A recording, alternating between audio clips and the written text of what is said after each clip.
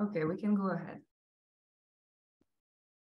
I would like to welcome you all to today's event on AI and mass data sharing. Is it the future of legal ideas? And this event is part of a series called Law and Change, which is organized in cooperation between BIICL and Singapore Management University, and today also with the University of Lausanne. Professor Mark Findlay will moderate the session. He's also the co-convener of the series.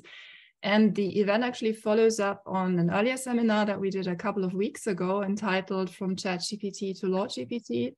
And we realized there are lots of uh, open questions that we would still like to discuss. And so we continue the discussion today with the same speakers. And the speakers are Michel Cannarsa. He is professor of private law and dean of the Faculty of Law at Université Catholique de Lyon. His research focuses a lot lately on the interaction between law and technology, contract and product liability. And he co-edited various Cambridge handbooks that you might have seen, the Cambridge Handbook of Artificial Intelligence, the Cambridge Handbook of Lawyering in the Digital Age, and on smart contracts, blockchain technology, and digital platforms. Then we have with us Giulia Gentile. She's fellow in law at LSE Law School and teaches IT in the law and cyber law there. Her interests lie in EU constitutional law, law and technology, and the promotion of human rights in a digital environment. And she's one of the principal investigators of the EU funded project Digi Public Values. It's a project that explores how to protect public values in the context of digitized public services. Our third speaker is Marion Ho-Dac. She's professor of private law at Artois University in France, and her current research focuses on the governance of AI in the EU, with a particular interest in standardization and consumer protection. She's a member of the French AI Standardization Committee and participates in working groups led by the European standardization organizations in the field of AI. Uh, then we have with us Gregory Lewkowicz. He is professor at the Université Libre de Bruxelles and the director of the Smart Law Hub there.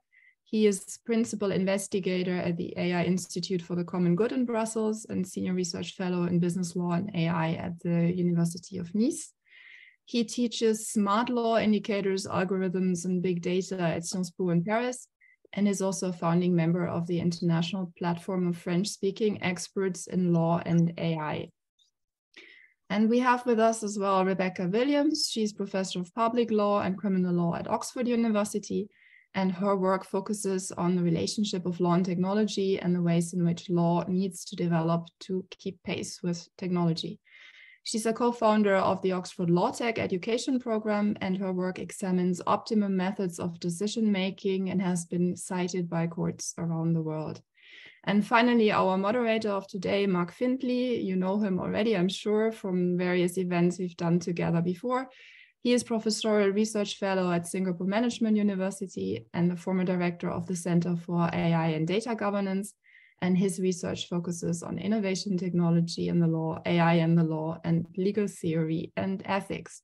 So thanks to all of you for coming together again, despite the busy end of term time. And uh, with that, I give the floor to Mark and look forward to the discussion. Thank you. Thanks very much, Eva. And I appreciate your capacity with foreign languages. I would have had a real difficulty introducing this fantastic panel. Um, let me just say that we are very lucky to have this group together and they agreed to, uh, to join a second session because I think they enjoyed the first session so much and there was also so much left unsaid. Uh, this session is designed to provoke and to stimulate and to challenge. So for those of you who are joining us, put your seatbelts on and get ready for some really interesting discussion that will evolve over the next uh, hour or so.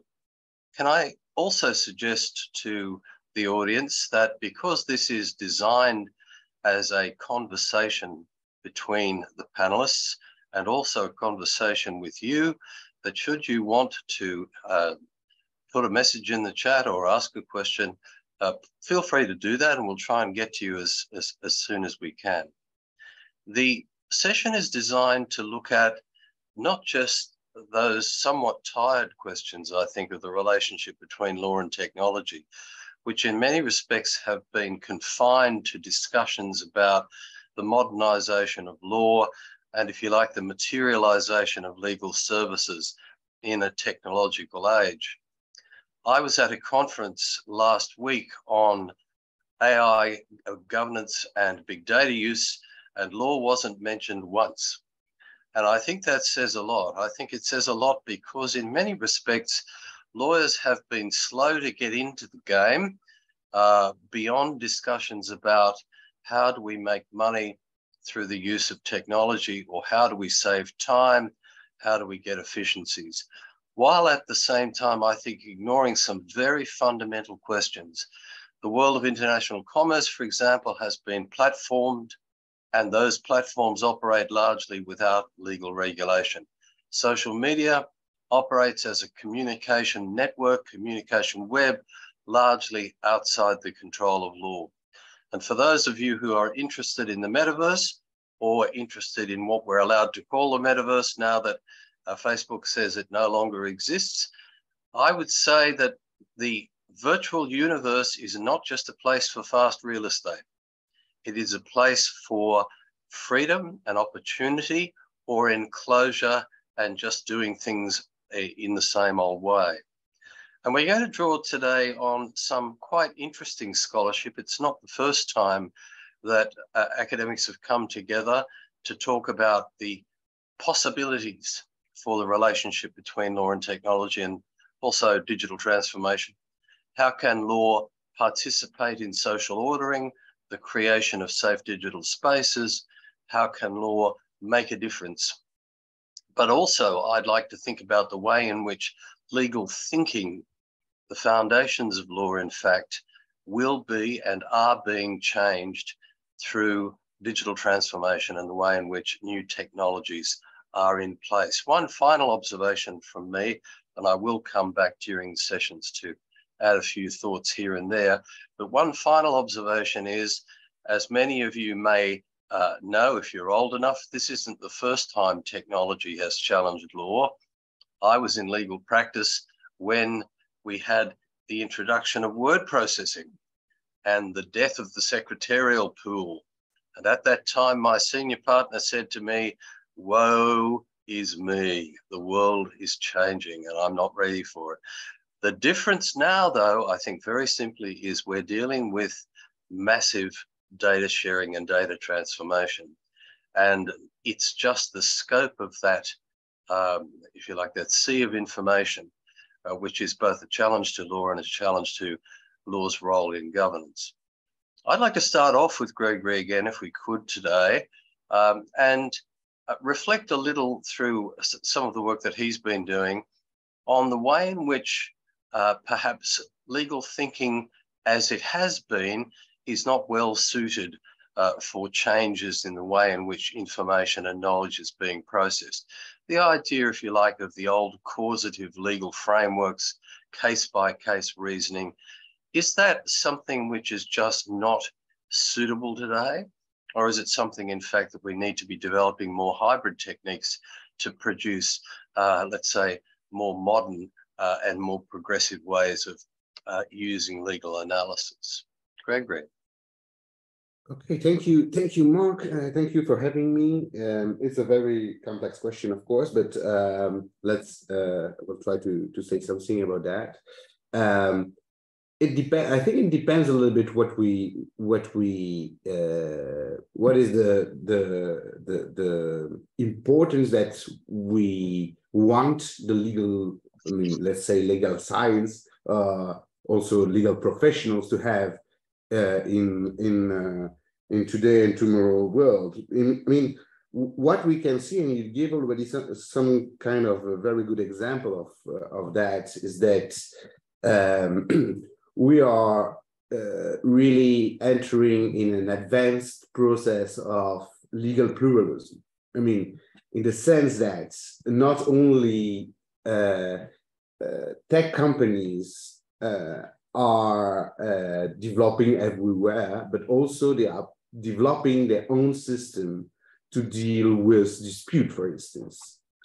Uh, and uh, in addition to that, we have even the regulators that ask, for instance, platforms to develop their system because uh, we cannot deal with the amount of cases that we may have to review. And that's where I think there is there is a there is a kind of uh, transformation in which lawyers are not well equipped to address the kind of uh, issues that we need to deal with now, I, I mean, at least in the, the, the, the digital ecosystem.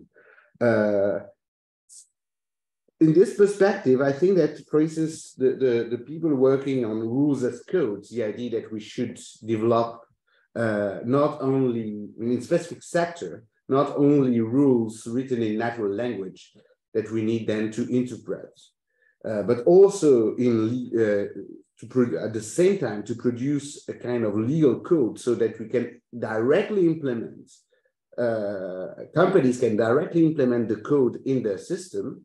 I think this is something that, of course, looks a little bit uh, like sci-fi, but at the same time, I think it's an idea that will get will get bigger and bigger. And there is one reason for that is that uh, already today we have something that uh, is kind of translation gap uh, between the law or regulations that are uh, um, adopted by legislators or public authorities, and on the other hand, the IT system of companies. Today, the, the way we are working is that we have some kind of uh, regulations written in natural language. Then you have the in-house lawyers that have to uh, uh, study this regulation, understand what it means for a specific kind of company, then write a memo. This memo will be transferred to the IT system, uh, to the IT people that will have to see and discuss how they will implement that in the IT system because in fact, uh, a lot of uh, a lot of requirements needs to be integrated in the IT system. And so this is the translation gap.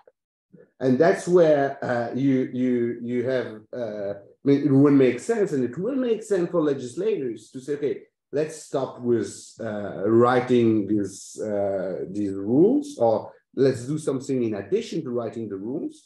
Let's produce directly the code, and then we can ask companies to directly implement the code in their IT system. And that's where thinking as a lawyer uh, would change a little bit because we are used to to look at question on a case by case basis.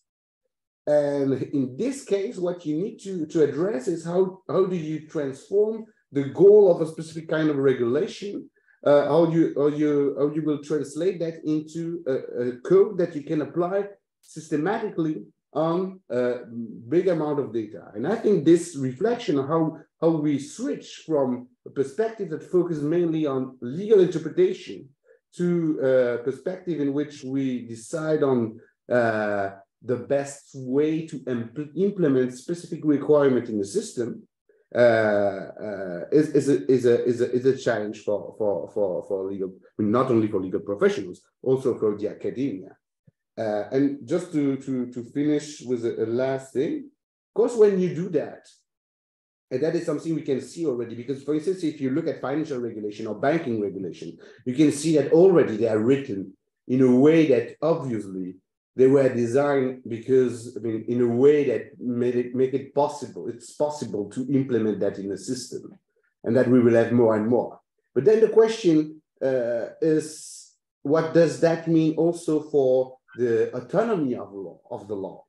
Uh, and, and I think that's that's important because uh, we are used to look at uh, at law as a kind of bespoke uh, activity, uh, and also it's an activity that is really labor intensive. And that's why we have a very specific kind of industry working a certain way uh, and different kind of structures and in the academia and outside of the academia. But of course, as, as, as soon as you start to design rules uh, in uh, uh, software system, uh, then the thing is that you will have some kind of phenomena that are more I mean, like uh, that we can see on other kind of markets, but that are quite different in the sense that we are transitioning from uh, labor intensive to a capital intensive law. And of course, that, that's, that's also a big challenge uh, for the autonomy of the different, uh, of the, the, different states. And we have seen already in specific area like tax law or, or financial law, that sometimes it's easier and it costs less money to change the law than to change the technology. So we adapt the written rules so that we can use the system that were developed in the UK or developed uh, in the US. Uh, and there, there is something to think about what does it mean to work in a world where we have some kind of capital intensive law. So that would be my, my, my kind of provocative uh, idea to start the discussion. Okay, thank you very much for that, Gregory. And I can see the rest of the panel writing feverishly, which is always a good indication that you've thrown a few things out there for people to chew on. I was wondering, Michel, do you um, not only have some thoughts that you might want to respond to coming to that, but I'm interested in your view about the way in which um, legal service delivery, the delivery of law itself is going to be essentially influenced and is being essentially influenced by the introduction of various technologies and particularly the way in which information and data are being managed. Thank you. Thank you very much, Mark, and thank you again for the invitation. Uh, the, the, way I the way I see it uh, uh, is that uh, AI and uh, and um, the amount of data, of course, uh, um, has an impact on the production of legal services, as you as you know, and the production of law, generally speaking. So. Um, recently, I, I, don't know if you had the opportunity to see that there is a, a short uh, report and a list of recommendations by the European Bar Association, and uh, and basically um, one of the, the main impacts is, that these tools and these environments uh, allow to streamline uh, the, the legal service production of uh, legal services. So uh, there is a gain of productivity, and so in theory, you can produce more law and more le legal advice with the, the, same amount of resources, or probably uh, uh, even less. So um, th this can be viewed from uh, different angles. I, I think uh, it's it's a positive thing if uh, um, it, means that uh, uh, the access to legal ser service and legal advice is more democratic. So mm, people who could not afford until now could afford a, kind of legal advice uh, thanks to the gains of productivity and uh, if you see it in a negative uh, perspective, uh, uh it could mean that um, you, you, will need less lawyers to uh, to do uh, the same amount of, of, job, and and so it could disrupt the the, the profession quite significantly. And uh, um, as I said la last uh, last time, I think that uh, there will be even more competition uh, among uh, among law firms. Uh, I've recently read an article on The Economist, according to which these tools are, especially ChatGPT, is available for a quite low price to everyone, to any kind of law firm. So uh, maybe it could allow small law firms or individual lawyers to to do uh, uh, more or to do uh, to a certain extent the same things that big law firms can can do. But I'm quite skeptical. Uh, I think uh, I think that might lead to a, a, a bigger concentration of of within the world of law firms actually. Um, due to the gains of productivity. So uh, on the production side, I think that uh, um, we can decide that uh, it's a positive evolution in the sense that we we make legal services more and more available to uh, to to to citizens. Uh, and also, we we make it possible for legislators, as uh, Gregory said, to you know, produce more effective uh, and more consistent uh, legal norms uh, thanks to the amount of data and uh, um, the, the, the po powerful tools to process this data. Um, but we, we have to decide so uh, because if we if we leave just the market evolve, um, I don't think that we will reach uh, such a result. And then uh, the, the, the other point is on the enforcement side, and uh, it's uh, it's quite uh, connected to what Gregory just said. I think that automation, uh, which is made possible thanks to the data sets and and and and softwares, can you know uh, improve. Uh, one one of the issues with uh, with legal rules is uh, their enforcement, uh, and so if we decide so, uh, these these the, the, technological environment could. could make enforcement of law more systematic, which I guess would be would be a, a good a good thing. Um, um, Gregory mentioned as well the um, the trend uh, of uh, the private privatization of uh, of uh, the production of legal norms and uh, and uh, and the enforcement of of legal rules, which according to me is not necessarily to be welcome. And because in the end it's um, it's also a matter of sovereignty for the states or uh, for uh, you know uh, federations or confederation of states. So um, I still think that uh, the contribution of the legal community should be to continue to frame uh, what is going on, to shape uh, also to a certain extent the technology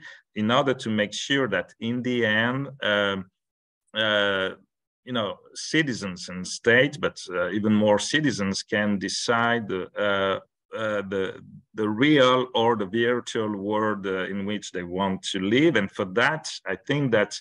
Uh, the production of norms and the enforcement of norms of legal rules should still be the monopoly or, or the, the, the quasi monopoly of, uh, of official uh, bodies that are uh, politically responsible in, in front of uh, in front of their uh, citizens.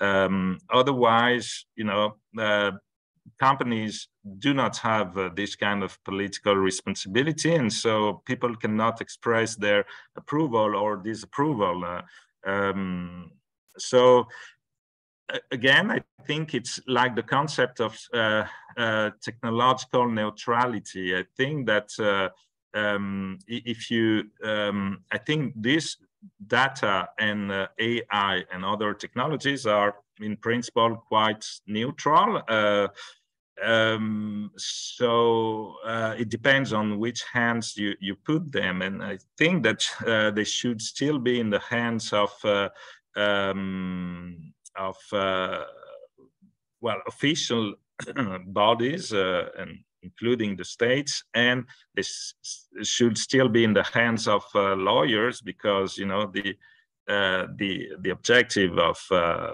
lawyers in the academia, but also in the practice in courts and so on, is to make sure that the society works uh, properly uh, according to choices you know we, we've made in terms of uh, um, protection of individuals.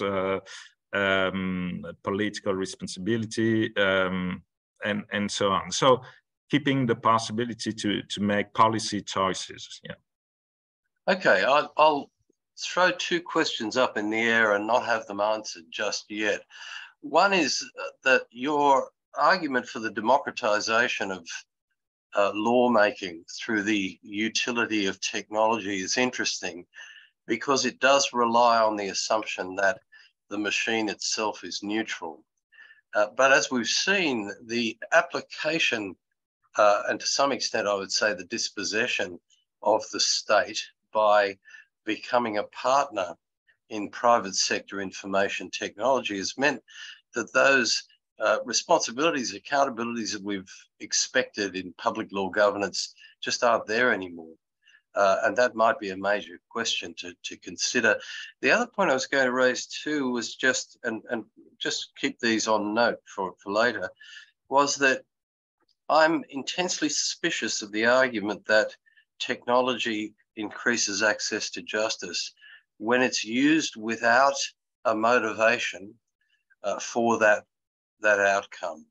I've talked to many judicial administrations that say, well, when the brief is given to the uh, technology team, there's no mention of justice. It's about efficiency and cost saving and a mm-hmm. variety of other issues, which I think are, are challenges in themselves. I was going to swing back though to say, let's have a think about what Gregory and Michel have just said about the potential changes in the way in which law is going to be, if you like, produced in a world where a very large majority of people don't like lawyers uh, and are confused about the law. Um, if that's so, Rebecca, what can you uh, tell us about how this is going to impact on the way in which we train lawyers, the way in which lawyers understand what they're meant to do?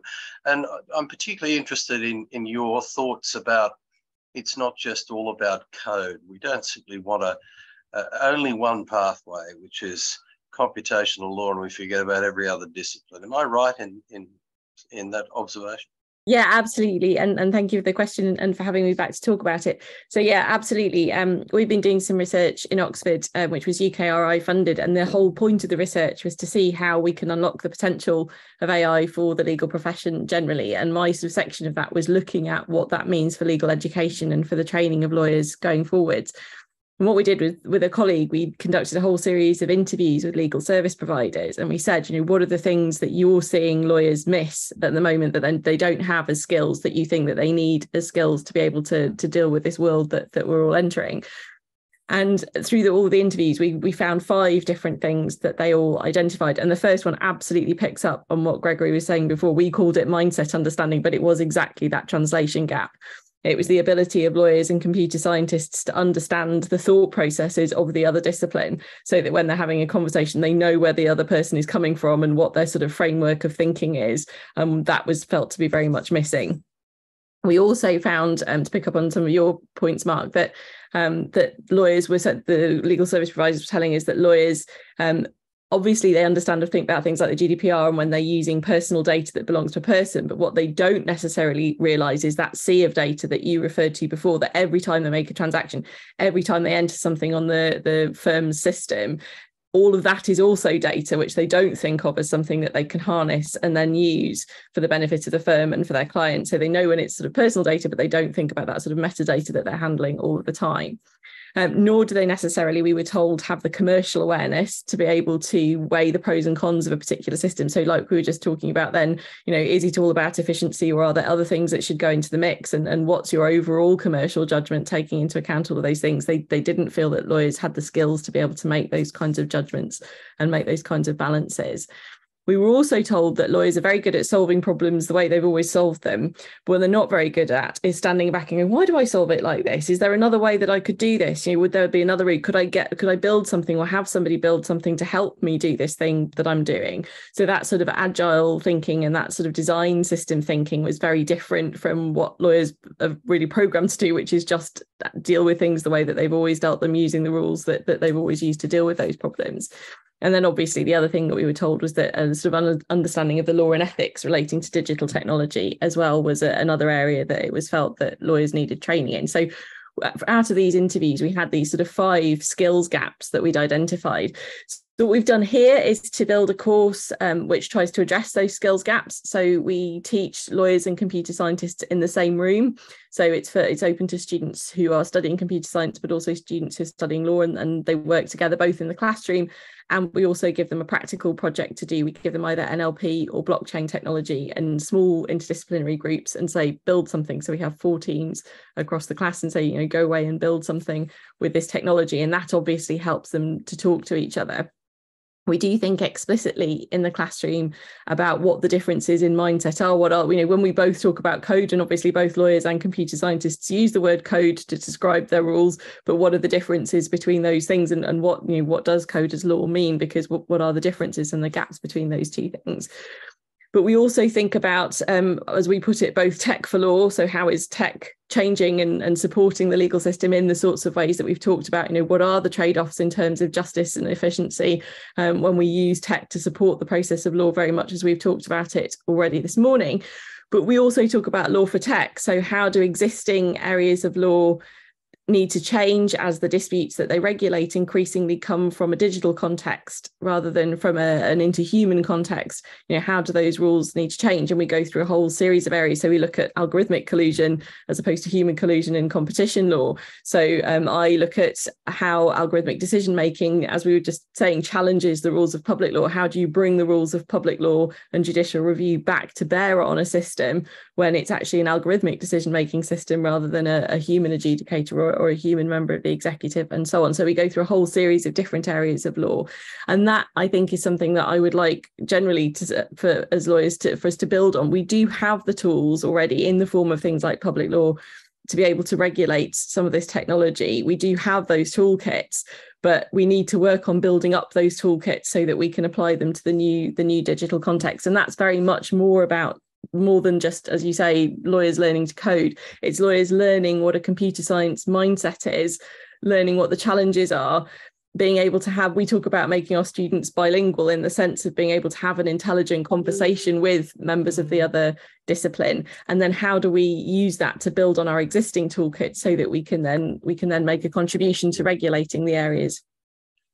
Okay that's um, opened up another Pandora's box in relation to the things that we might want to interrogate in terms of legal training. I was just thinking too, in the traditional way of traineeships, the idea of having uh, a more senior lawyer training a junior lawyer to understand the mysteries of discovery or whatever it might be. Much of that really has to be looked at quite critically now. But I'll just take up on two things which I'll pass on to um, to Giulia because I know she's interested in this. One is the, the concept of language, and I've worked with um, tech designers and, and innovators and with lawyers in the same room, and their misunderstandings of the most fundamental concepts are quite profound. You ask either of them what trust means, and a lawyer thinks trust is simply not getting caught.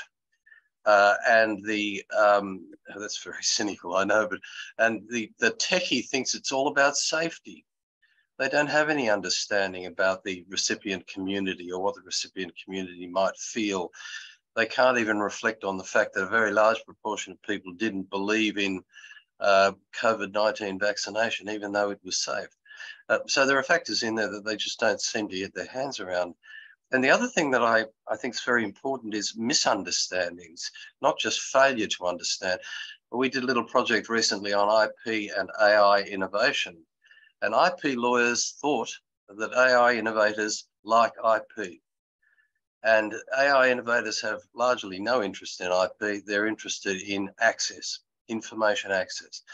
And they only talk about IP when they have to go for a grant. Uh, and I think that that fundamental misunderstanding of the way in which we both work and the way in which we both think needs to be tackled as well. I know you're itching to say something, Rebecca, but I'll get you to hold on and pass over to Giulia. Just you raised something with me in a note that you sent to me earlier about the transformation of data in and and and let's say law as data into algorithms and making it an algorithmic science. In doing that, could I just ask you to think specifically about the fact that lawyers don't even know what data is? They don't know whether it's a legal entity or it's not a legal entity. They can't even cost it as private property. Uh, so we're in a sea of, of difficulty there if we want to make money out of data. Just give me some more of your thoughts about the way in which uh, legal thinking is heading in that direction. Sure. Um, thank you. Thank you so much, Mark. And uh, thanks already for all the contributions. Uh, they're very thought provoking and so great to uh, see you all back actually. So it's it's uh, it's it's wonderful. So uh, starting from Mark's uh, observation, I would like to um, perhaps raise some uh, provocations based on what I've um, heard so far, uh, and perhaps also to um, to build really on the discussion that we had um, up to this point. So I think Mark pointed very nicely to the fact that essentially we're dealing with two different languages. uh, the language of the law and the language of the data. Um, and what is quite peculiar about the language, which is we can say a manifestation of these two different fields, right, is that they intrinsically reflect the different functions that data and now therefore AI um, on the one hand and the law on the other hand perform. So I think that um, when we try to think about the future of how data and the law uh, should interplay, we should go back to basics. Um, and uh, my argument, I think, is that to a certain extent, um, and of course, this is a matter of nuances and also a matter a matter of, of values, after all. Um, that I believe that uh, starting from Lessig's um, uh, quote, code is law, well, in reality, code should not be law. And I explain uh, this argument uh, very briefly. So if we look at the functions of uh, the law and the functions of AI, uh, we can see a certain degree of, of overlap, but also essentially we're talking about very different things. So when we conceptualize this relationship, I think uh, that the autonomy of the law, that um, the different uh, contributions have directly or indirectly pointed out to, uh, is something that should be, I think, really carefully um, um, considered. So uh, starting from the functions of, of AI and the law, a common feature, I think, is that of ordering. So both the law and AI have the power of ordering data uh, when we're talking about AI, and we uh, talk about the law, we uh, order society, we order people, um, and we order uh, um, um, as a consequence also the way of living uh, of a certain society. But then if we go further in analyzing what AI and what the law really seek to achieve, we're talking about two very different things. The um, uh, uh, data, AI systems um, systematized by finding connections through data, right? Um, they do that also by way of automation. But the law instead can create order by way of very different processes. Think about balancing. So the law orders people and orders um, society also through values. And the law also helps balancing, helps solving to a certain extent tensions uh, of different um, uh, values that permeate society. And through balancing, for example, we uh, achieve very creative solutions, solutions that are very powerful in many cases because they have sometimes also an equalizing power. Think about the principle of equality of non-discrimination, right? So in, in so doing, the law in a way interprets reality. And we can say that also AI systems interpret uh, data uh, but again, the process through which uh, these two systems um, um, come about are very, very different. So in thinking about these two different um, worlds, in think about uh, uh, these two different languages, then if we want to think about uh, the, um, so to say, the synergies between AI and data and, um, and law, um, well, the next step would be, can we transform the law into data and algorithm? And I think Mark uh, made a very uh, good point. Lawyers uh, don't really know uh, what data is. How can we uh, define data? So clearly there's, um, uh, there's an informational gap that um, I think Rebecca very nicely pointed out. but even if we think to, so to say, fill this gap and and therefore bridge these two worlds, uh, well, there are still some, some problems uh, in my view. Uh, and this is the fact that the technology, um, and I'll be very interested to, to hear the, the reaction on this point by, by Michel, the technology is not necessarily neutral. Think about data, right? Data intrinsically embodies bias. Uh, why? Because it builds on reality, and therefore uh, the data that we can collect about uh, legal systems is inevitably uh, uh, biased in a way because it reproduces only a part of what actually happens on the ground. It only reproduces part of the judgments, part of um, uh, the, the law enforcement, and so on. And this leads to bias. So I think that this is a, a, a significant problem when we try to automate um, the law. And ultimately, in a way, by transforming the law into data, um, we would miss as well all the opportunities of the law. We might miss the opportunity of creativity. So Gregory was, um, I think, uh, uh, raising a very interesting point about systemic thinking rather than case by case thinking. But are we missing perhaps something by thinking uh, uh, uh about the law into, um, so to say, uh, by conceptualizing the law into systems only? Um, so I think that again uh, we might uh, lose some um, um, some of the power of the law. So just to conclude, um, uh, I think that this doesn't mean, nevertheless, that the law and data uh, cannot cooperate. I really believe that there's power there, and we should uh, look for uh, synergies. Um, there are some, so to say, limitations uh, as to whether we want to make uh, uh, uh, law into code and code into law um, for, as I said, uh, reasons that are technology, uh, technological in essence. So, as I said, bias, but also think about the black box problem. There are some ways to overcome the black, black box problem, but but again, this is partial. So we can, um, so to say, compare how a system operates and um, how a human operates in the same field um, to, to, to solve the black box problem. But again, explainability um, very um, uh, hard to achieve in this context. Um, so wh where do I see the synergies? Uh, if we want to keep the autonomy of the law based on, on this discussion, I think that um, the potential really lies in um, empirical studies. I think that data and AI can make the law more transparent. So we need to start thinking about uh, data and AI not as a way to make the law less accessible and understandable because inevitably algorithmic regulation is opaque because of the bias problem, but also of the, of the black box problem. But we can perhaps use AI and data to make the law more transparent. And this, therefore, I think uh, is a great opportunity for, um, for legal uh, research in when legal researchers should uh, should perhaps see the potential of, of AI in this field.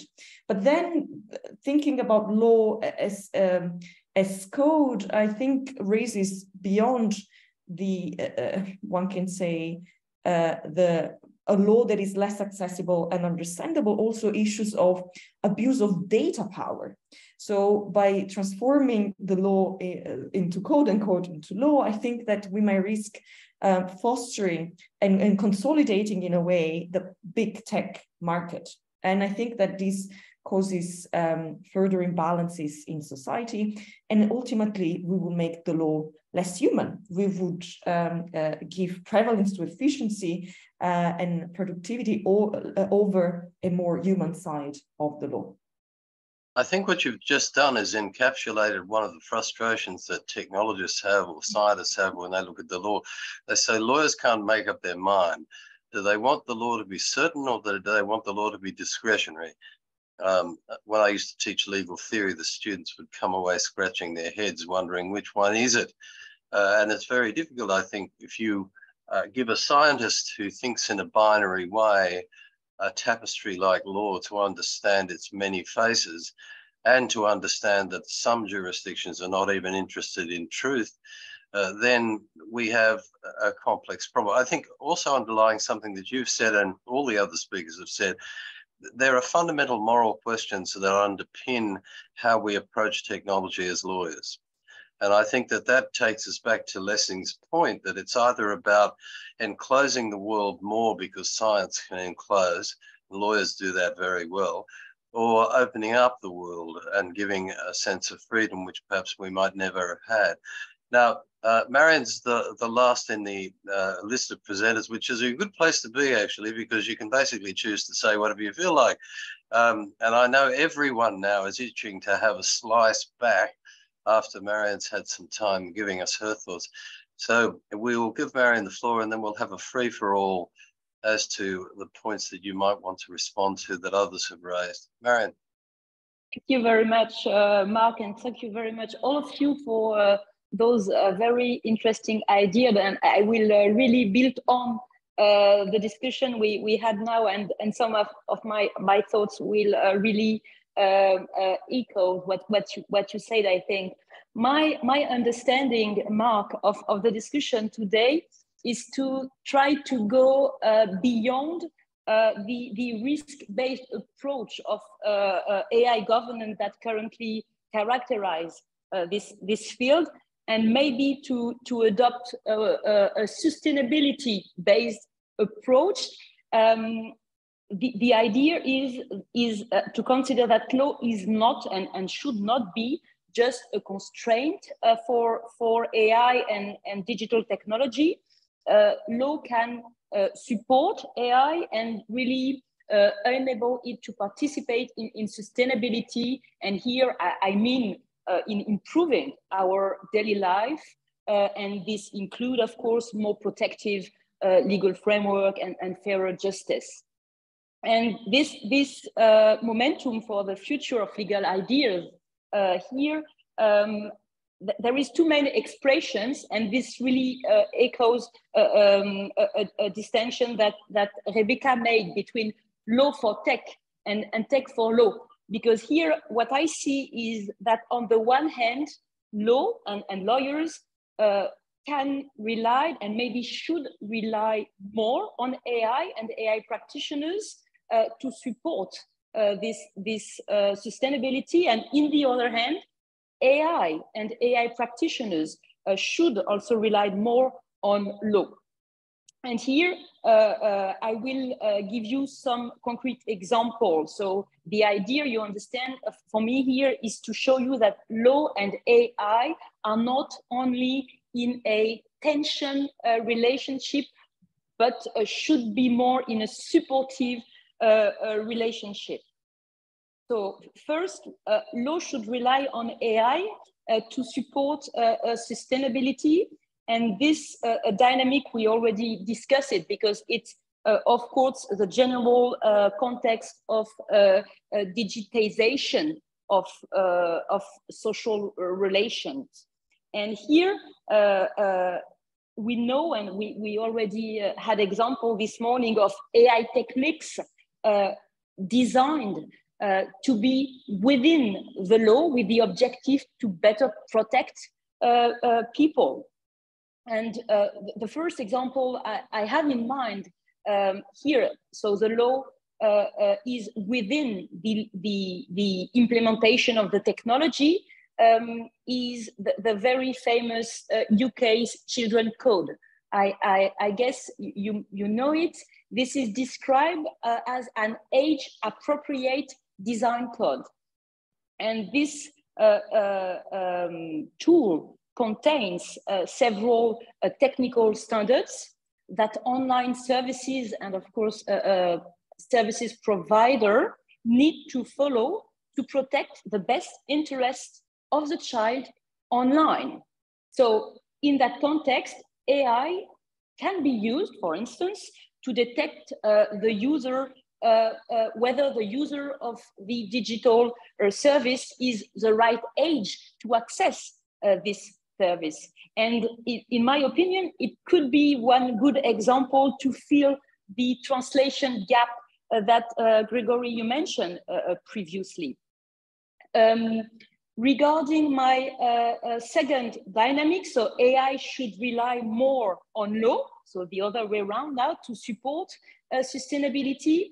Uh, here, this, uh, this statement uh, relied on legal pluralism that was also mentioned by, by Gregory. So the assumption that normative regulation is not solely based on hard state law, but on the contrary, there is a diversity of norms, including uh, um, non-state norm. Um, and this legal pluralism is really important in, in digital and AI uh, governance uh, to better protect people. And uh, I know that this view is not fully shared here as, as um, Michel told us, and I, I know it already, he feared this privatization of, of norm.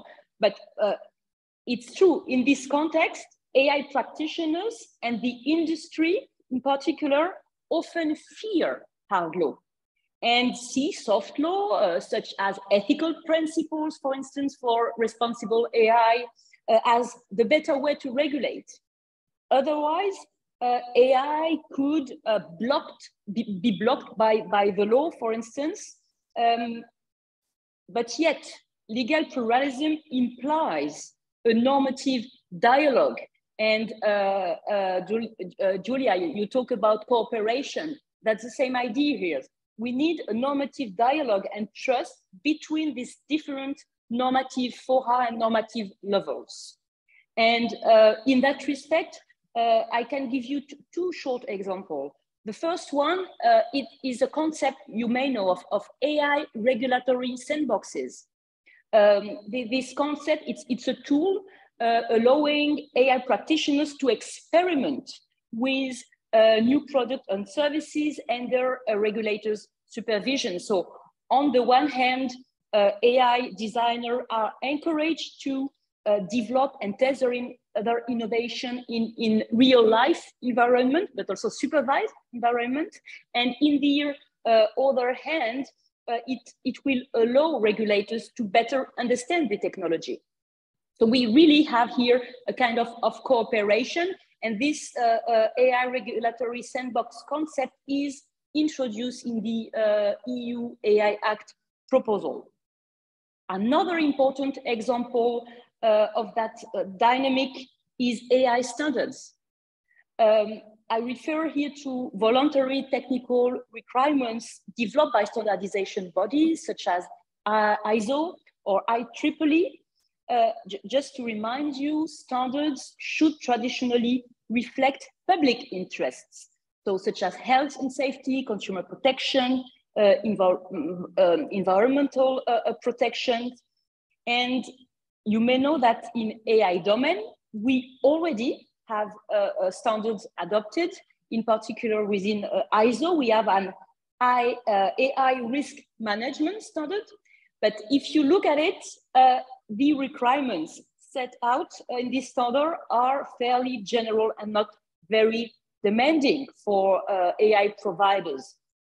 Therefore, uh, hard law should reinforce these requirements. So this is exactly, I, I, I think, the rationale of the European harmonized standards on AI that are currently developed within uh, the European Union in support of the future uh, AI Act but it's not easy in practice.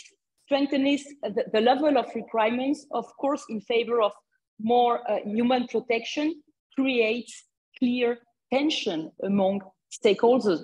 But we need to go on with this uh, normative dialogue and, and cooperation. So I think this is really uh, the way forward. Thank you.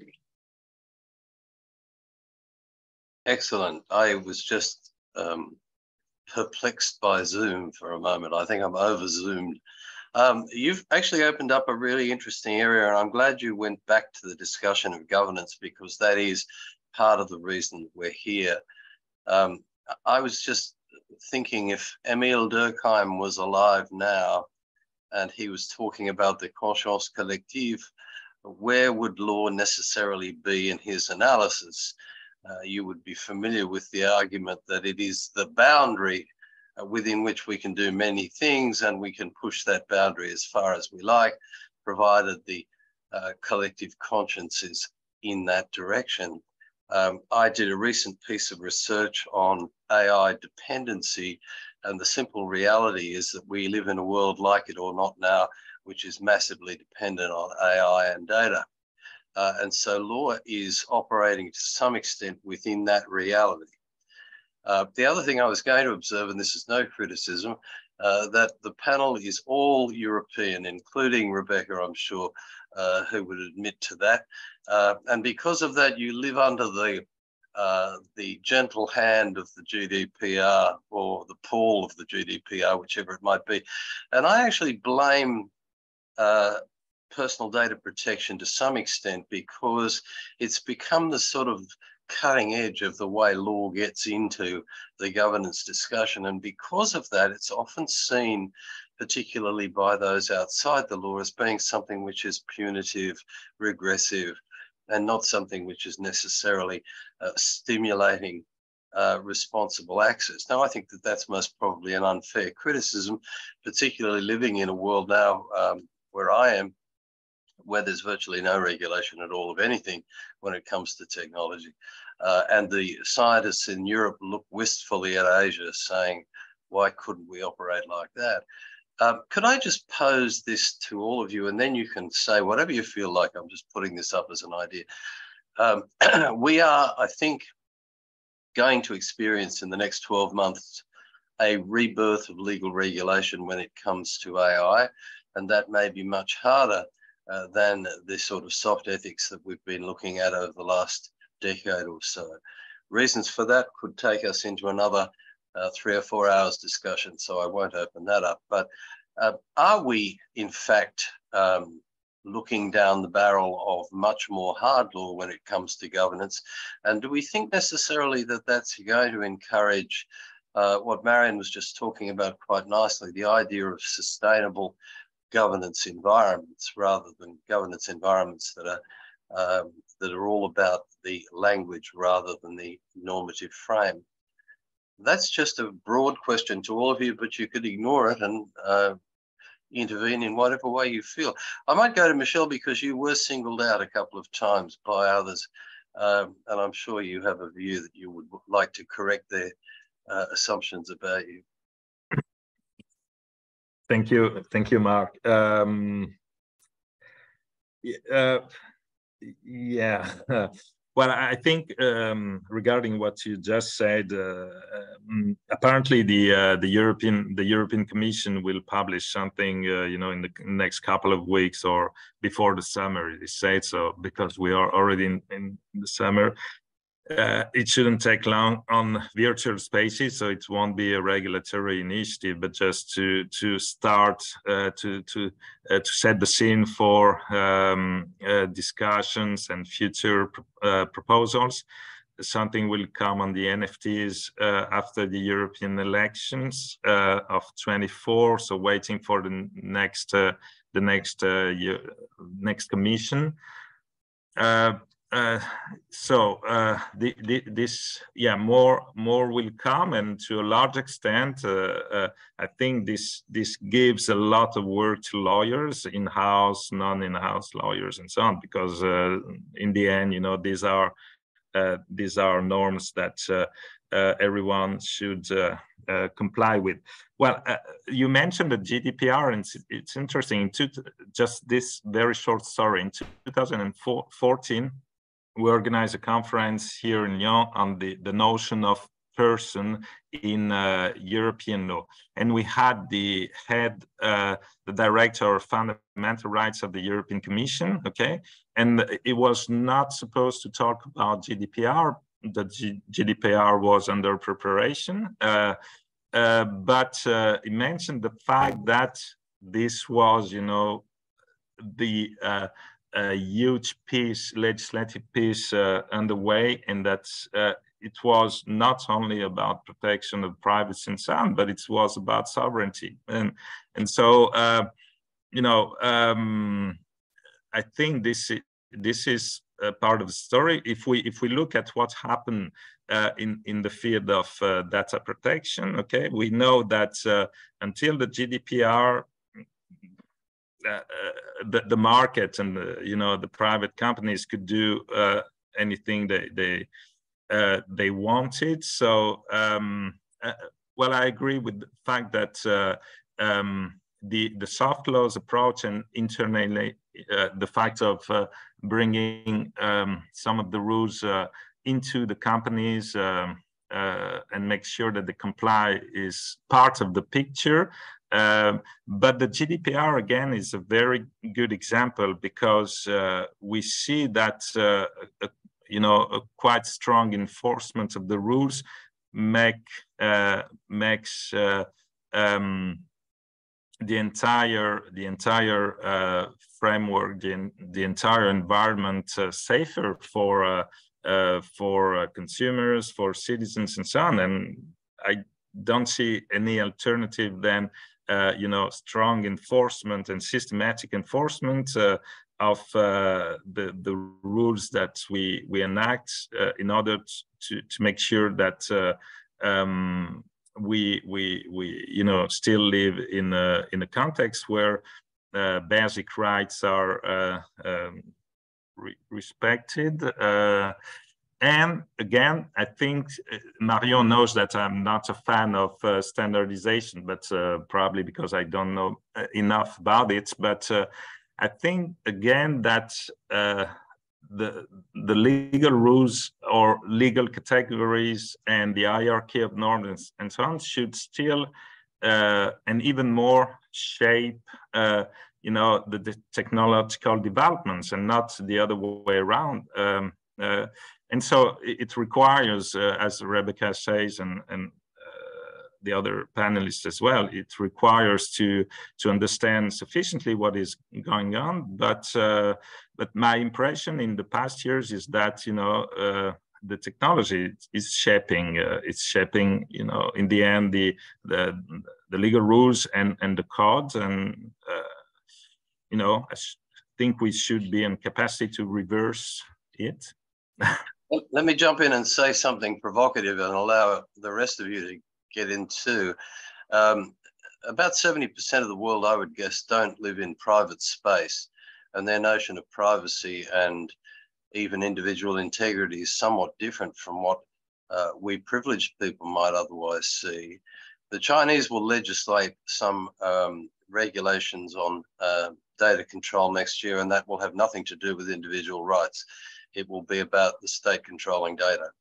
Uh, I suspect that the points that have been raised in favour of uh, legal intervention are arguably very important, uh, but there are other realms out there I think that need to be engaged with. There was a question in the in the, the chat which I might just answer quickly, which says when we give an example of a sustainable governance environment, I think sustainability depends on what you're trying to govern and where you're trying to govern it uh, I've just been involved in some research on what we call digital self-determination. And digital self-determination is a soft regulatory realm, but it's designed to promote the interests of the data creator uh, and to make people realize that even the big, powerful data um, storers will be willing to open up as um, open banking has shown and open finance looks like it's showing on the basis of what they get out of it. And they get reputational value, they get better quality data, blah, blah, blah. Uh, so, and that's not something that's uh, a state initiative at all, although it may, may require the state to assist it uh, so that the obligations that are within that notion are better respected. But that's, again, another discussion on its own. There are some, um, what we'd call quasi-legal regulatory frames and some independent regulatory frames that are designed for a sustainable environment as well as what we uh, look for in personal data protection. Um, the rest of you, who wants to have a slice of the of the time with any issue that might have been raised so far? Uh, Gregory, you've got a hand that looks like it's halfway up. Yeah. Uh, go for it. Okay, so it's, I would like to, to, to, bring an additional aspect. I mean, uh, I completely disagree with a lot of stuff that we're saying. Like, for instance, that we have, for instance, this idea that we have the private to recast again the discussion we have today in the private versus the public. I think it's a very bad framing. It's a bad framing because, in fact, and it, we have seen that already with the internet, there is an invisible handshake between tech technology and and states uh, and the public sector. Because what technology bring is a way to have control on people that we never experienced before. And that was always the interest of the state to have more control on people. Uh, so if uh, you look at the developments that we can see is that in fact there is something for the market and for big companies and there is something for the states to control more citizens and to have and that's also the idea of of the to a certain extent to the rules as code is that then we will have an alignment that is better. We can control more. We can automatic control. And and that means we we we will have a kind of automatic law. So the idea to recast the way like the, the, the, the question like this, I think it's dangerous for I mean the, the very idea of having something like a civil society uh, that is independent from the market and from and from the state. Uh, because what we are experiencing, uh, if I do step a little bit in philosophy, uh, you you remember pr probably uh, Habermas, Luhmann, and other kind of uh, people from um, in the, the 70s, 80s, explaining that what society is is communication. I think there is something interesting in that because what uh, the digital transformation means to a certain extent is that we are trans transforming the very core of our society, of the the, the, the, the, the, the, world of where we are living in, into a grid. It means that we will have a, we have a grid that is there and that uh, um, that has all the information and all the communication between everybody inside. So that means that the one that control the grid control everything. Uh, and, and there, I think there is a problem that uh, GDPR is nothing about that, is that there is no more room for secrecy. So, and for uh, an independent civil society that is not the state nor the market. So, so, so uh, I think that's that. I mean, what I'm looking for is how the law, how law can contribute to build that again. And if it's not that, then I think the connection between law and technology can work really well together because law is uh, is, is uh, can really adjust to having some kind of automation, uh, can really adjust to having big players or using technology to uh, do some kind of not only contract review but contract implementation, finding agreements between between parties for a deal. So I think that is the question, and that's where I think technology. It's not you know that is not mine, but technology is nor good nor bad, No, it is neutral. And the way it's not neutral is because it changed.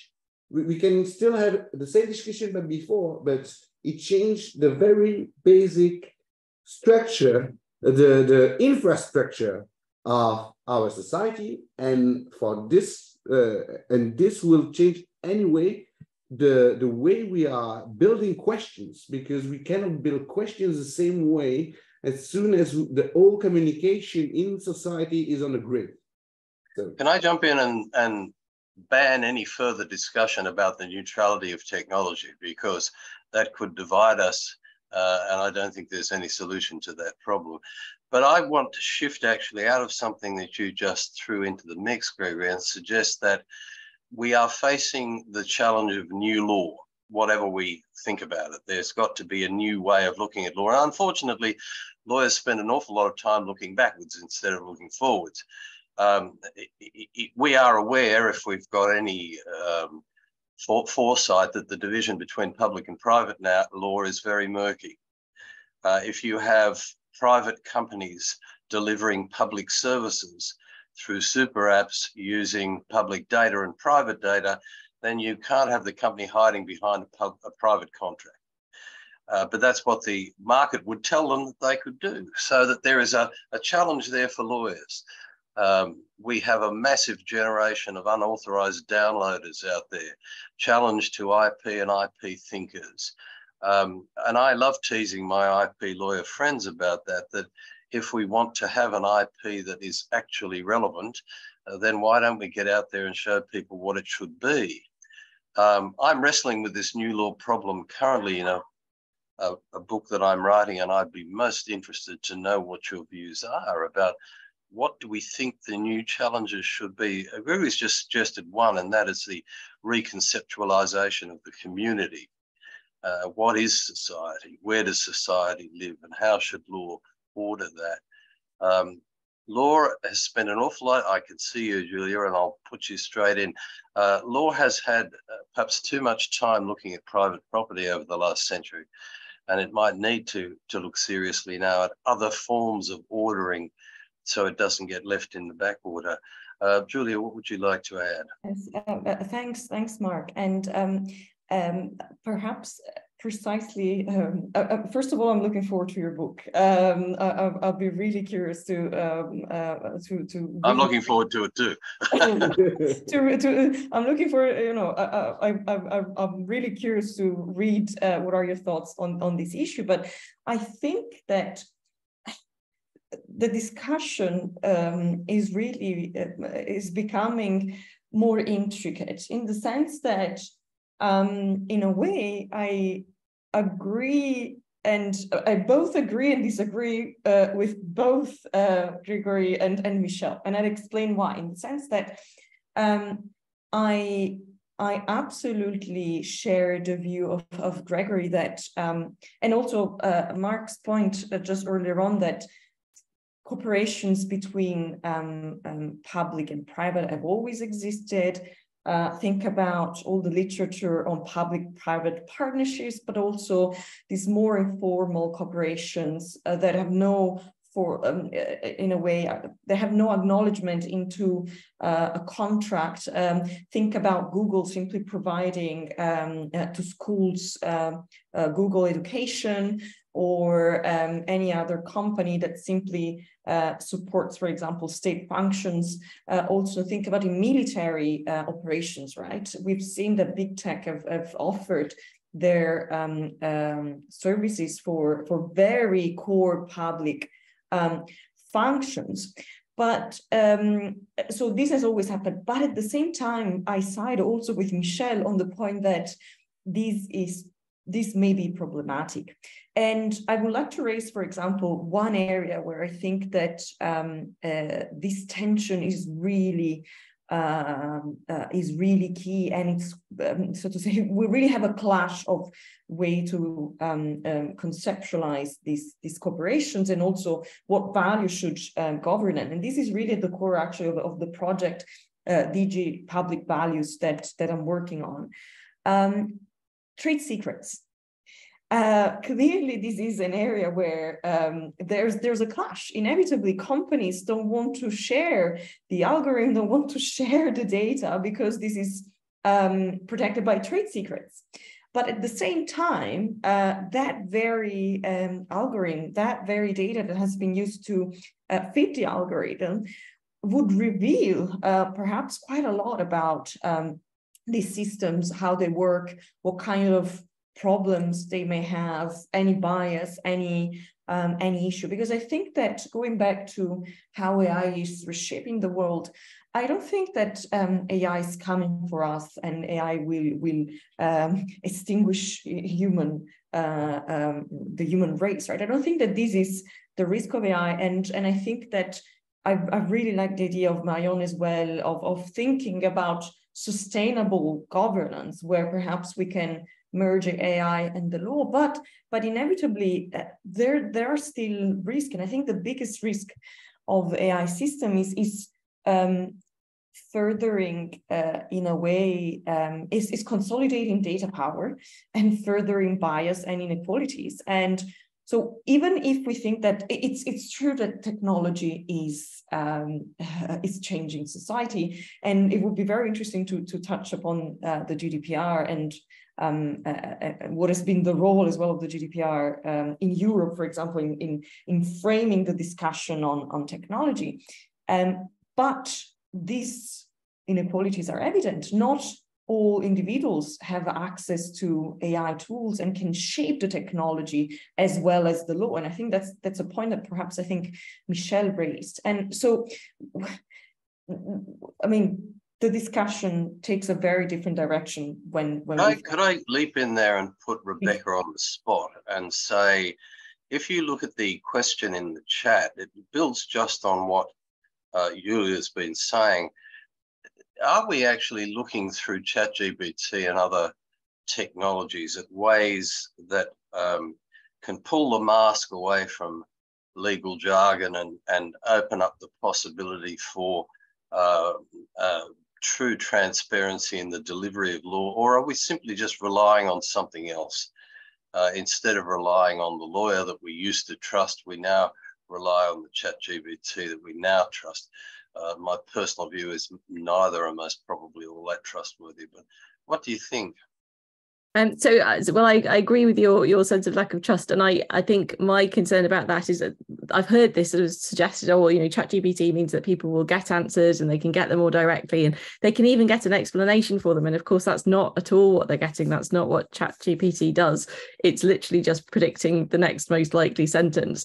And so, I very much share Giulia's concern that actually what we what we're going to do is we're going to bake in all of our existing problems and package them to somebody in a in a way that looks like it's something that that might be reliable or might be in exchange for something that we have at the moment but actually isn't that at all um, but I also would like to pick up, if I can, on the, the discussion that we've been having about public and private, because that's also something I'm like my background is a public lawyer, and I'm really interested in whether our existing definition of that divide between public and private really holds. And I, d- I don't think it does. And sort of a corollary of, of um, what Gregory and, and Giulia were saying, perhaps, is that as well as as well as understanding more about the relationships between state and, and big tech one of the things we might think about doing is about using the tools that we currently have for controlling the state in order to control big tech as well. If we think that one of the uh, sort of essences of the application of public law is the imbalance of power between the state and the private citizen, well, you see exactly that imbalance of power um, in the tech context. And as Giulia says, it's, it's really sort of baked into that, that tech context. So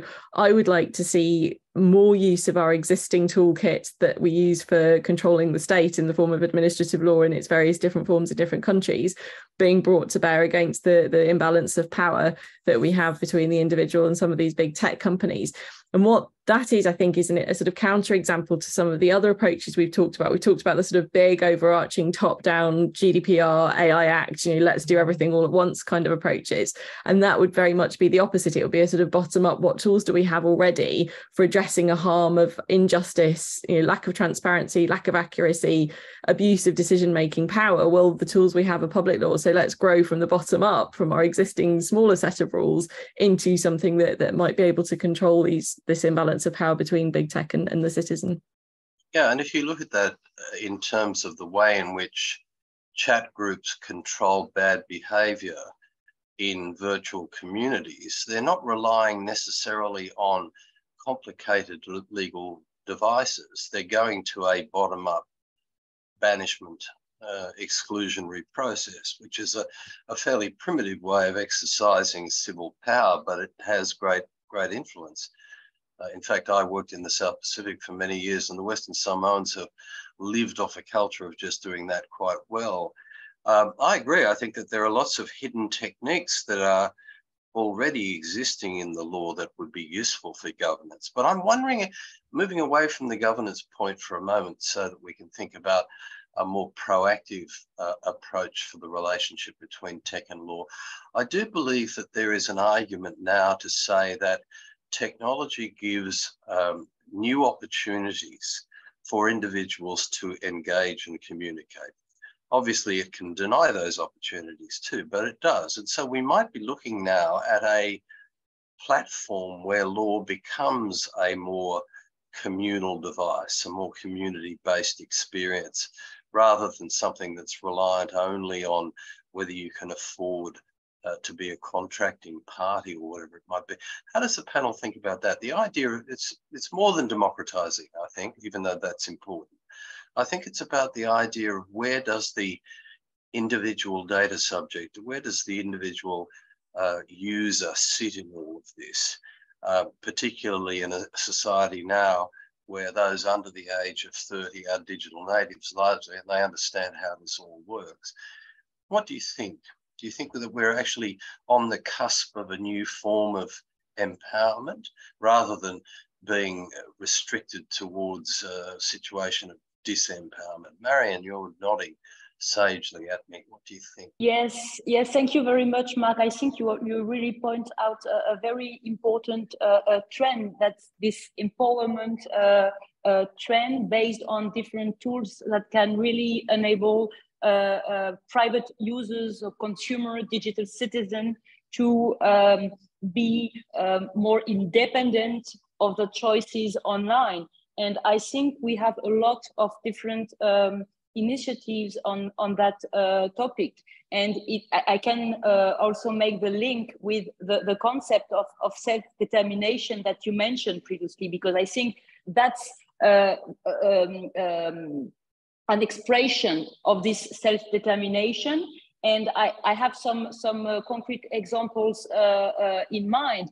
For instance, um, there is a, a, very interesting tool called Claudette that's uh, uh, an application developed uh, by, by Professor Sartor in, in the Florence European Institute in order to help consumers to check the compliance of, uh, of um, uh, web uh, sites with a consumer protection. So that's a, a European law-based index. But of course, you can replicate uh, those kind of, of tools uh, on different uh, jurisdictions. So I think that really is here a very important avenue, as you said, to strengthen uh, the the autonomy of, of individuals uh, uh, online. And i think it's it's a very important element.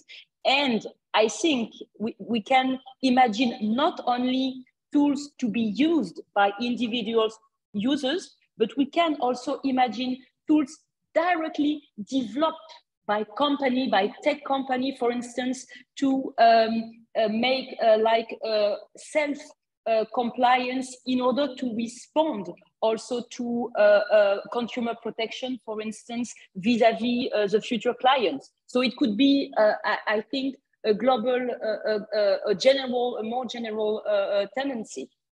Yeah, I, I would um, add one other example. I was talking to some people who were involved in a very interesting use case in India dealing with disabled communities and the way in which virtual space enabled disabled people if the technology was sensitive to their disability. Uh, and this was quite exciting because the, uh, the uh, tech community was working with disabled populations to tailor uh, options for them, uh, which uh, went right around the the sort of usual market imperatives and and towards what a specific community wants. And in India, for example, this is a very uh, large but also an extremely active community, particularly amongst feminist uh, communities um, the whole question of uh, the integrity of the body and the representation of the body in the virtual was uh, very exciting to see growing out of very grassroots bases. Um, I want to swing back before I give everyone a shot at whatever they feel like they want to say. Uh, just to go back to something that Gregory was mentioning earlier, and that was that perhaps um, the relationship between law and technology relates to the community in which that challenge exists. So in the, in the finance sector, for example, there seems to be, as Gregory said before, a bit of a rush away from uh, re relying on litigation and looking more towards compliance. But there are some communities where, in fact, the move is the other way. Um, I wonder whether it's a very community specific issue, the way in which technology is impacting on the delivery of, of satisfying legal services. What do you think, Gregory? Hmm. No, I, am quite sure that it depends. Uh, there is not nothing like one size can fit all. Uh, and of course, you have a very important uh, context is really important. Uh, and uh, I think that uh, sometimes it's technology can bring more dispute Uh, sometimes uh, it, it, can work um, a little bit differently. Uh, and to react a little bit to what Marion was uh, mentioning, uh, and to give some kind of concrete, some kind of concreteness to this idea of rules as code and circulation of legal solutions, because I think that's that's that's that's a huge development. Today, because we we we, are, we were discussing today a lot of really high level uh, legal discussions, but so with two kind of limits, of course, uh, law is not mainly about that. It's mainly about small transactions between people, etc. And uh, a lot of the time people use, including lawyers, they, they do not, they use the law as building blocks to create some stuff. They know that really well in finance. People believe they buy financial product, but in fact they sign a contract, but they do not speak about the contract anymore. They, they buy a product. Uh, so uh, if you look at what's going on with uh, e-commerce, etc., etc., the thing is that I think people get because you decide on different platforms because you know what the platforms will do. Like what will be the relation with the plumber if you use this tech instead of this one? Of course, it's in the in the platform you will have some rules, some legal rules, some insurance, etc. But all is included and it's only one product. You use this one, you make the contract with the plumber. If there is a problem, you know what will happen. There is an escrow system, there is not an escrow system, etc., etc.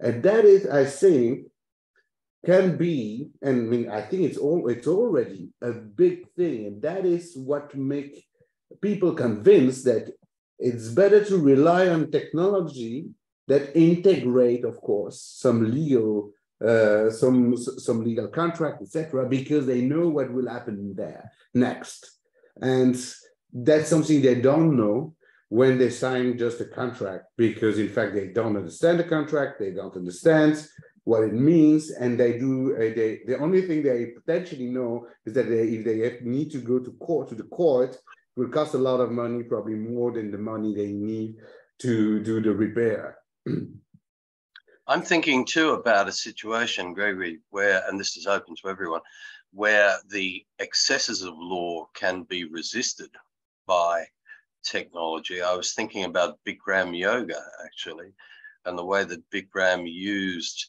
uh, litigation to pursue a rather problematic copyright claim which was eventually resisted by people who just realized they could get access to his breathing techniques by going onto the web.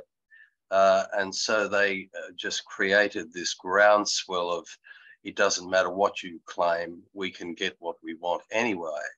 I wonder whether that possibility for active resistance to, let's say, some of the negative sides of law is important to think about. I, will just move on to points I want to make before I go around the room for five minutes.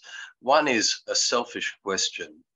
Uh, can anyone or everyone tell me what they think will be the place of law in the metaverse in a sentence or two? And I'll tell you why I want to know in a minute. Does anyone have a quick sentence or two about what law will be or what law is going to be in the metaverse? Too shy.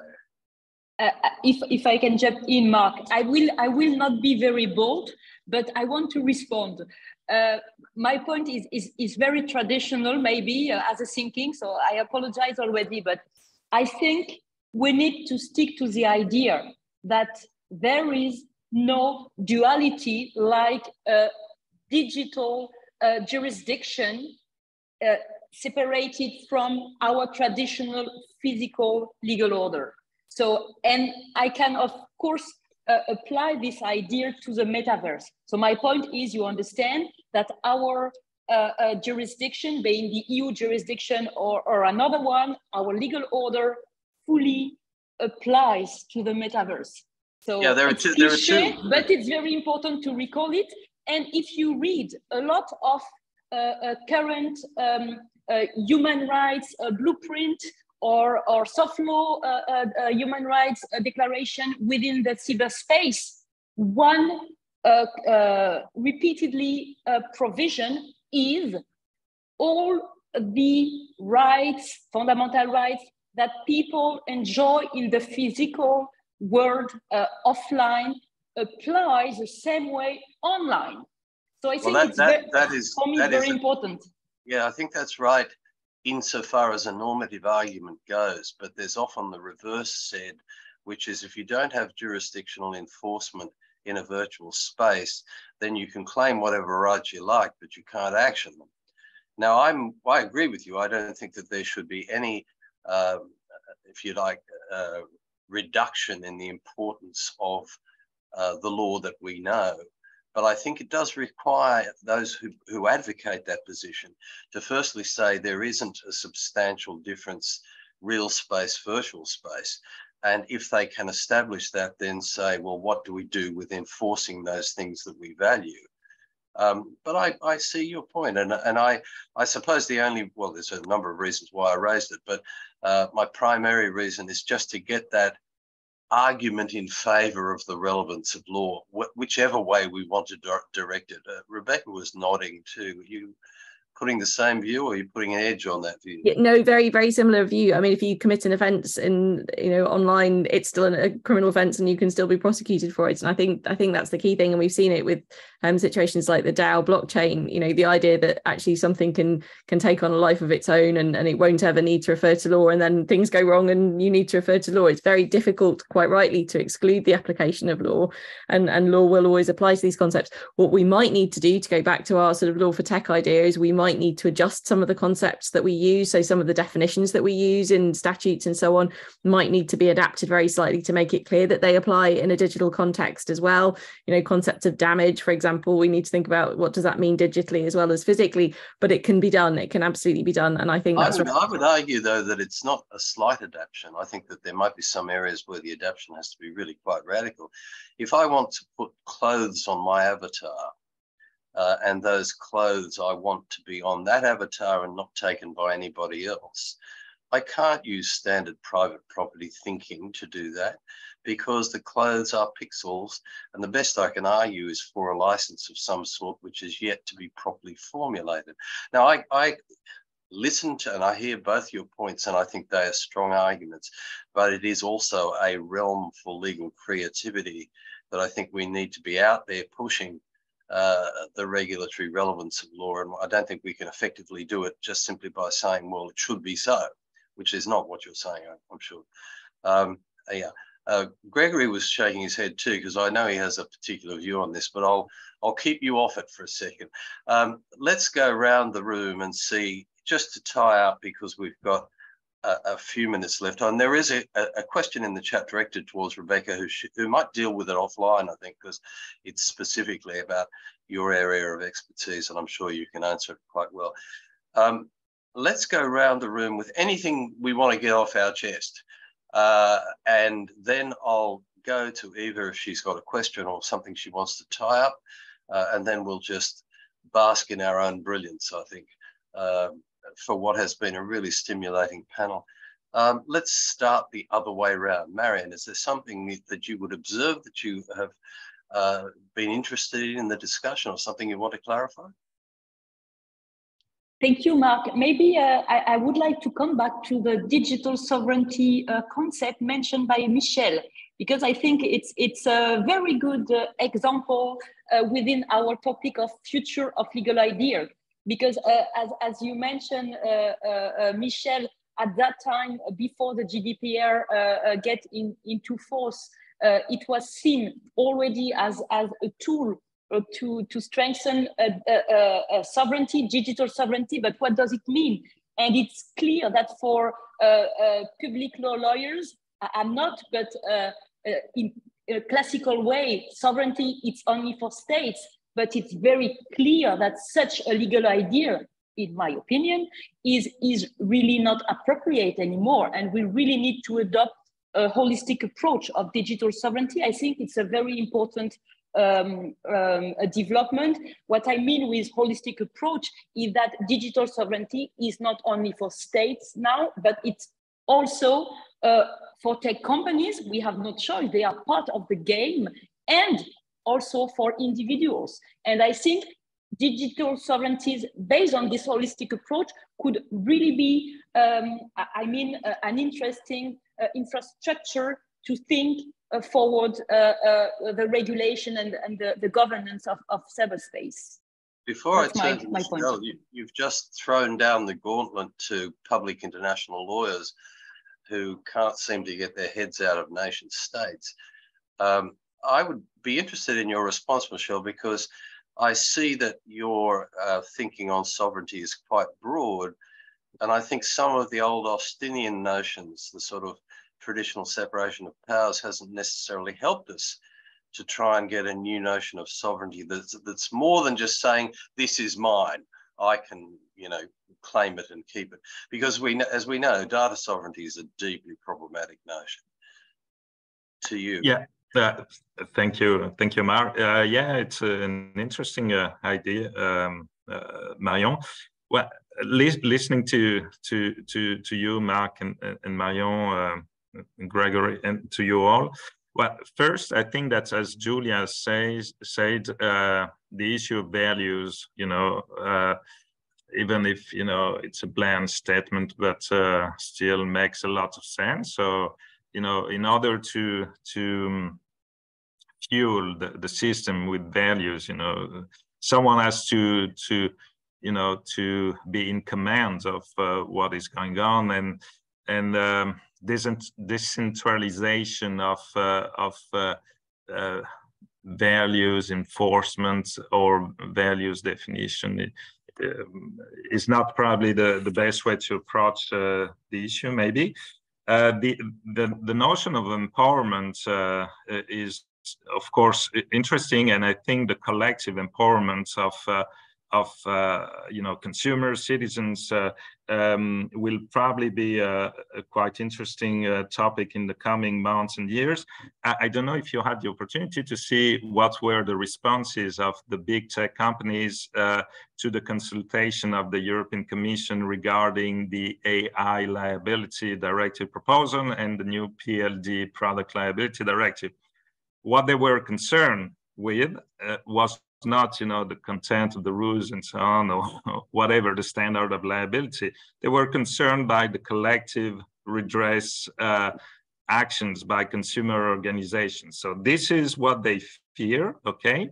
Uh, this is what is now into application in all the member states of the european union since uh, friday or saturday i think so I think if we want to think in terms of community, of individual empowerment and so on, th this should uh, probably be strongly connected with these uh, collective redress mechanisms and using AI and data by these consumer organizations or citizens organizations in order to, to make sure that the rules are uh, enforced uh, can be an interesting trend uh, as long as you know the communities the consumers the citizens decide to empower themselves which is not always the case unfortunately due to the you know life on social networks uh, fake news and so on because you know people tend to be less engaged. Uh, uh, this is my uh, uh, my point of view uh, but I, am probably wrong uh, in France recently, you know, the, uh, a book has been published by Jacques Attali. You probably don't know the guy, but he, he was, uh, you know, an advisor to François Mitterrand back in the 1980s.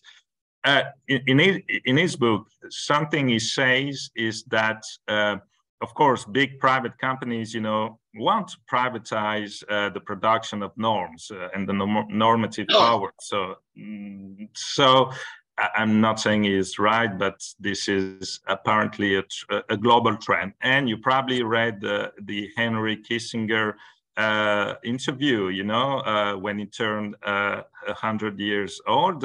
And one of his major focus apparently was the fact that uh, the USA and China should probably reach an agreement in order to have a non-proliferation treaty, a global one, you know, on AI. So apparently the guy was seemed uh, a bit concerned about uh, the developments in AI in France, a topic and a word that has been popular in the past weeks, and Marion will and the others will probably uh, have heard is decivilization. You know, the fact that civilization seems to uh, not to move forward anymore or could go backwards to a certain extent. And it, it could be that AI and data, you know, uh, depending on how they are used, could uh, lead to i'm not i don't agree necessarily with the concept but uh, we should be uh, uh careful and and uh, well um, uh, focus on on these trends as well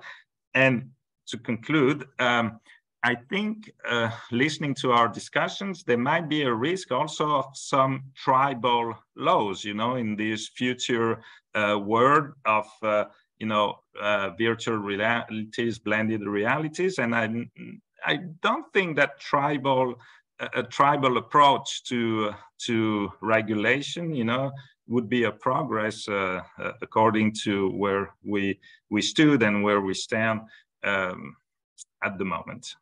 I think the biggest problem, thanks for that uh, segue, the biggest problem with uh, decivilization and the concept of tribalism is ultimately that we forget that in tribal settings, there still exists power hierarchies, and those power hierarchies are often patriarchal and very cruel. Uh, but I do think that there is a need to recognize the grassroots uh, possibilities, let's say um, I was talking to some people about uh, the possibility of big tech being more open with secondary use. And tech says, well, we can't do it, it's too expensive. Information looping can allow you to do it for virtually nothing. Uh, and I think it's time for the uh, for the users to be a bit more aggressive in what they what they expect. Rebecca, what do you think? So um, I, I very much enjoy hearing these these ways in which um, we can think about re-empowering people because I, I very much as we were Giulia and I were saying earlier I very much have the concern that this is going to lead to disempowerment and uh, you know aggravation and exacerbation of existing inequalities. So anything that can be done I think to to to counteract that I think is always sort of makes me feel more optimism.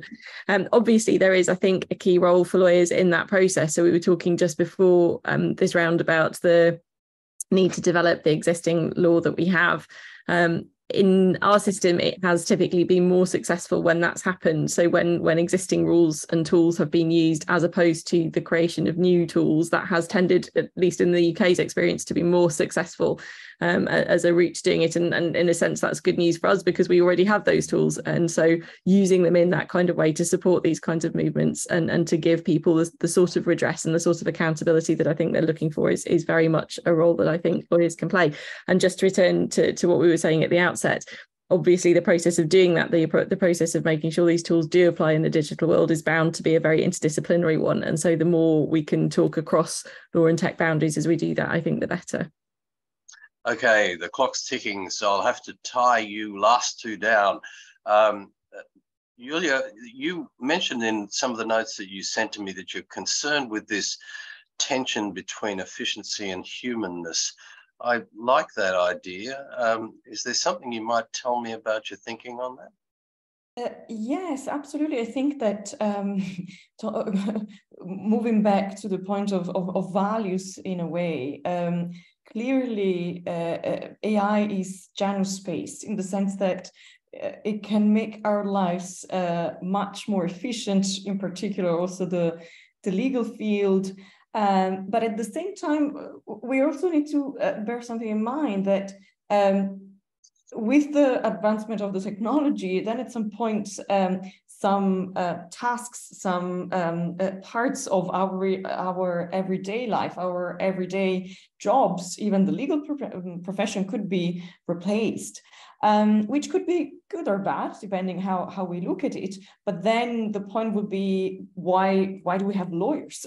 so um, I think that um, uh, there's a, um, a, a thing uh, line uh, here um, between enhancing efficiency and uh, keeping humanness in, in, in, in society. Um, uh, because inevitably this, uh, this discussion, I think, touch, touched upon very interesting points, automated law and, um, and, and the potential of AI. And I agree that AI can be used in absolutely um, fantastic ways. And uh, I myself um, was involved in a project uh, on um, strengthening uh, the the, the uh, voting rights of the of the disabled um, in in Europe, and inevitably AI is considered to be one areas where um, um, these these rights could be strengthened. So there's a potential, but what I want to point out is that these projects are guided by public bodies. So I think that's right. I think that's right, and I think the point that you make about AI having that capacity we have to recognize that long before AI, law was responsible as much for exclusion as it was for empowering. And so lawyers really need to have, uh, you know, to got to have gone over those value questions, I think, for themselves more clearly. Uh, Gregory, quickly, uh, law plug and play. Um, how does that fit into any of this discussion? Because we haven't touched on it yet, and I think we should. Yeah, uh, thank you. Yes, so to a certain extent, Sarah, so what is the, the, the question of the future of ideas, of legal ideas? So uh, in, in a lot of in a lot of I mean I think that in a lot of of, uh, of domain uh, we will have just law as a layer of the tech stack. I think that that that is what we will have that we have already uh, in a lot of area even we if we do not uh, focus at it uh, like this. And of course, to have a law as a layer of, uh, of a tech stack, uh, it's a very huge change. So, uh, and in order to address that, I think that we have several problems. I mean, one is that we need to be, I mean, lawyers need to be modest because it's a very, uh, this to integrate technology in the basically in the ecosystem as such, because the more data we have, the more access to reality we have. Something with lawyers we never had. So we imagine that the world, that society is, is built on law, but that is not correct. Uh, Uh, in fact, it's a very small layer today, and we have mainly a pathological perspective on law because we look at the law when it goes to court. And all the rest, what people are doing concretely, we don't know. So now we have access to a lot of new information, how the judges are really deciding.